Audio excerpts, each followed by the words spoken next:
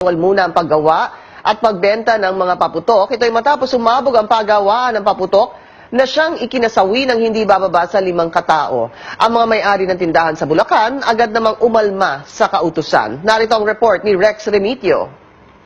Umalma nga yung mga nagtitinda ng paputok dito sa Bukawi, Bulacan kasabay nga nung kautusan ng Department of Labor and Employment na pagbawalan muna yung paggawa at pagtitinda nito. Ito'y kasabay nga noong ah, dalawang magkahiwalay na pagsabog na siyang ikinasawi ng lima katao at ikinasugat ng hindi bababa sa 30 katao. Kahit nga may kautosan ay ah, marami pa rin ang bukas na tindahan, ngunit mapapansin rin na marami pa ang sarado at wala pang masyadong bumibili dito.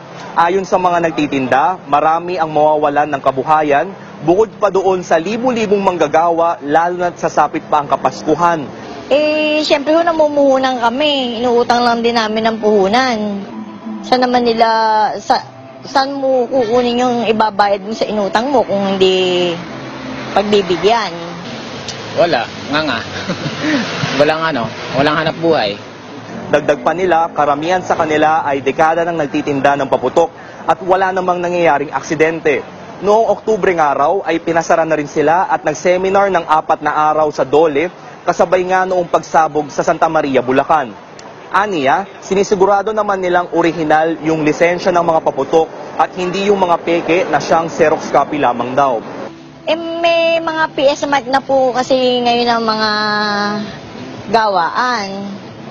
Kaya, siyempre, kami naman ng mga tindahan, yung mga may PS mark ang mga kinukuha namin para sigurado ang mga yari. Yun nga lang, kung titingnan mo yung original seal, ay wala rin itong sapat na security feature gaya ng hologram sticker. Ang ibig sabihin, maaari pa rin itong makopya.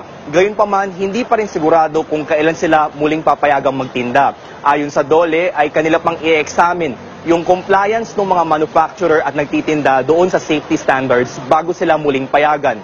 Ang giit naman ng mga nagtitinda ay wag sana silang madamay sa kasalanan ng iilan. Rex Remitio, CNN Philippines.